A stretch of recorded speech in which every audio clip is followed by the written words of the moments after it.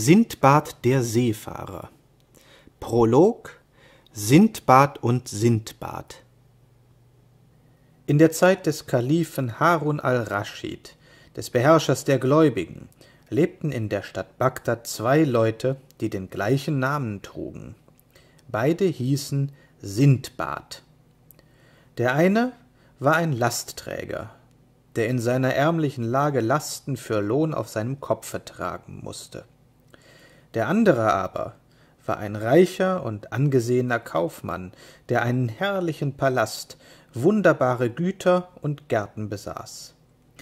Während der Arme oft nicht einmal das wenige verdiente, das er zum Lebensunterhalte nötig hatte, lebte der Reiche in Saus und Braus und warf das Geld mit vollen Händen hinaus.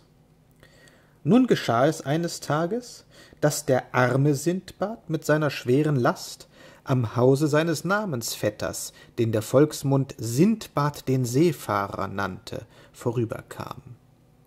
Da er sehr müde und erschöpft war, legte er seine Last ein wenig auf die schattigen Stufen des Palastes nieder, trocknete sich den Schweiß von der Stirn und atmete mit Entzücken die kühle Luft, die ihm aus der Halle entgegenwehte.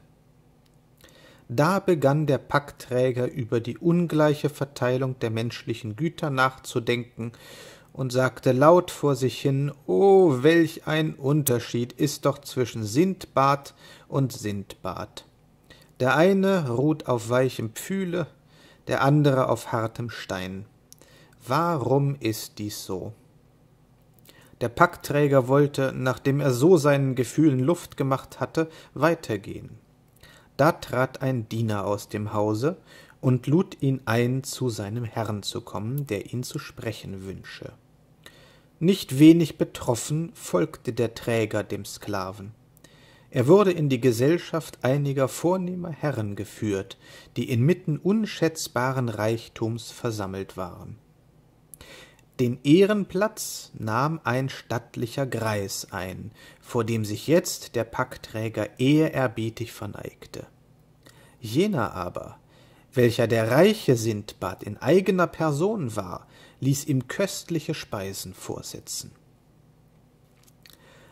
du beklagtest dich vorhin lieber freund begann der hausherr nach einiger zeit dass dich das schicksal statt mit gütern nur mit Arbeit gesegnet hat. Deine Klage erinnert mich an viel Trübsal und Not, die ich selbst erdulden musste, ehe ich zu meinem jetzigen Wohlstand gelangte. Viele Reisen habe ich machen müssen, und wenn es euch, meine edlen Herren, angenehm ist, so will ich einiges davon erzählen.